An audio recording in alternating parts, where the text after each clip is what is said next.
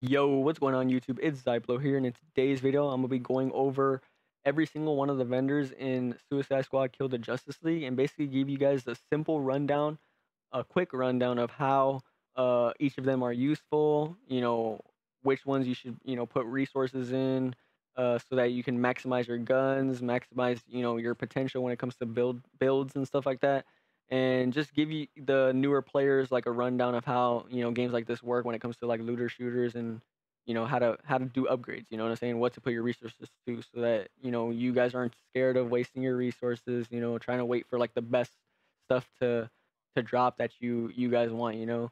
Um and maybe you know you'll learn things that you guys probably didn't know uh watching this video. But yeah getting straight into it this is penguin. Penguin's one of the first vendors uh, he's able to craft stuff for you and overhaul stuff for you.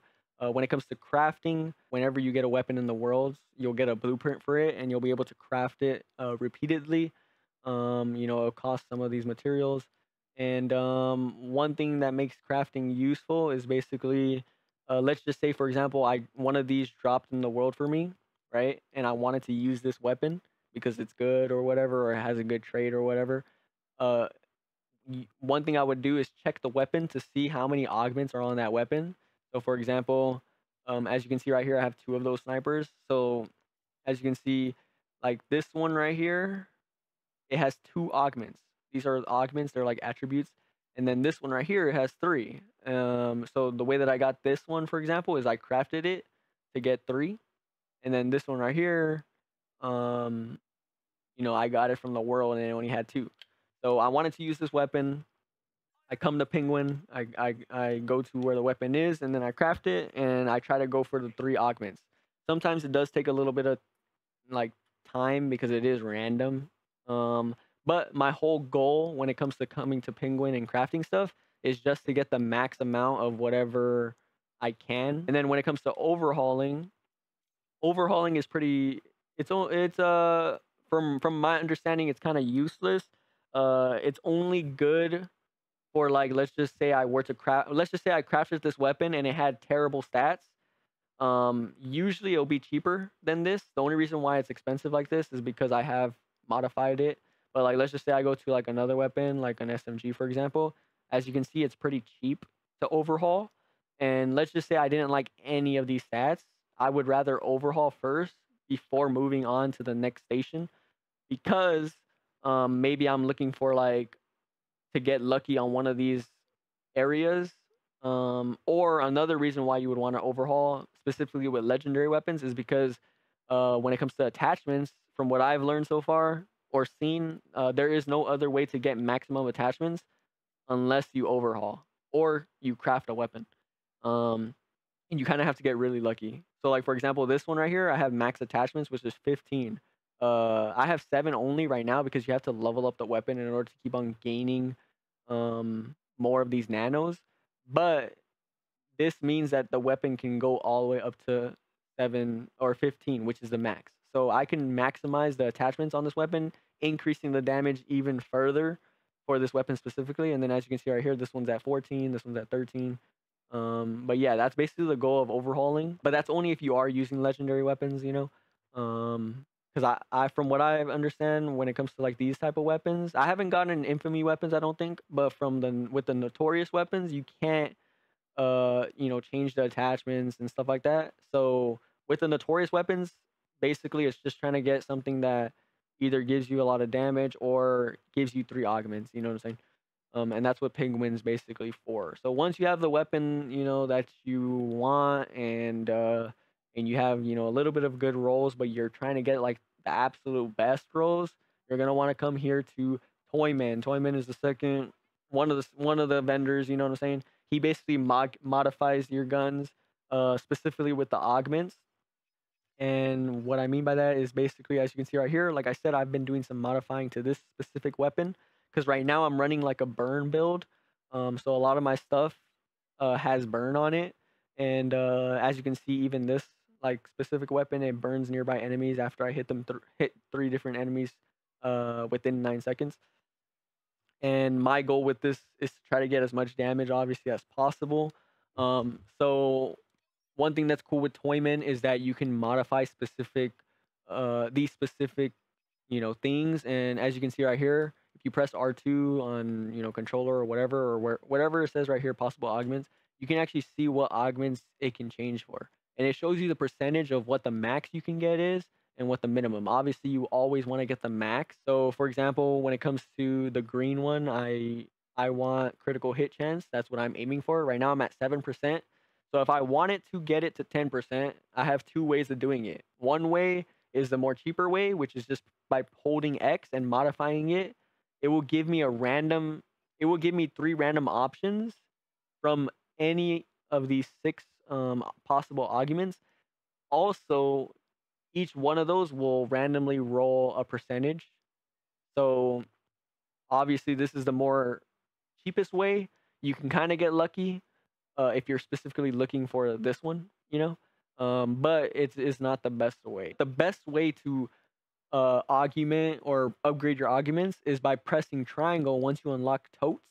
Uh, you do this by just continuously progressing Toyman uh, through this, you know, through his missions or whatever. But if you press triangle and activate a tote, you can select a new augment to specifically upgrade. And uh, and obviously this is really good. So let's just say, for example, you see I, I'm at 23% critical hit damage for this firearm, but that is not the max. So let's just say I wanted to get the absolute max for that specific stat, especially since it is a pretty good stat. Um, then I can click right here and you know upgrade it, and then it will give me three rolls of that same stat. So this specific stat will give me three rolls, and I have three chances to get the 25%, which is the max, instead of only one chance. And even even then, when you do modify it, there's still that chance that it might hit. Like let's just say, for example, I modified this one and I only just pressed X, right? There's still that chance that it will only give me three of like these, and it wouldn't even give me this. So that's why it's not that good. So this one is more for specific, you know, uh, augmentations, like if you're trying to go for something specific, then definitely activating a tote is extremely good. Um, I haven't gotten far to where like um, like I've activated totes multiple times on the same weapon, but from what I've seen so far, um, like once you activate a tote once, then the price for the next one increases. I'm pretty sure that's probably going to be a trend. So that's where it's like you know, that's where the grind comes in, where you're going to want to continuously keep on farming for materials and then trying to max out the weapon completely to its max potential. You know what I'm saying? So that's basically what Toyman does. He is very good. You're obviously going to be using him for a long time for end game and stuff like that, especially if you're trying to get max, you know, stats on, you know, your best weapons or whatever. And then the last vendor is Poison Ivy. She applies afflictions to your guns. Um, afflictions are really good. Uh, she applies afflictions to your melee weapons and grenades. Um, they're really good for um, for multiple reasons, of course. Obviously, because it provides even more damage to you know the enemies that you're you know fighting against. But um, when it comes to builds, so for example, like as you can see right here, this is a build that I'm running right now. Uh, I'm running, like I said, I'm trying to do a burn build, mainly because I actually got this stat right here that does 49% damage to burning enemies on my um, lucky charm. So since that, since I got this stat, I just decided to just go with burning. So I put burning affliction on my my boomerang by using poison ivy, and then I put burning on my grenade by using poison ivy.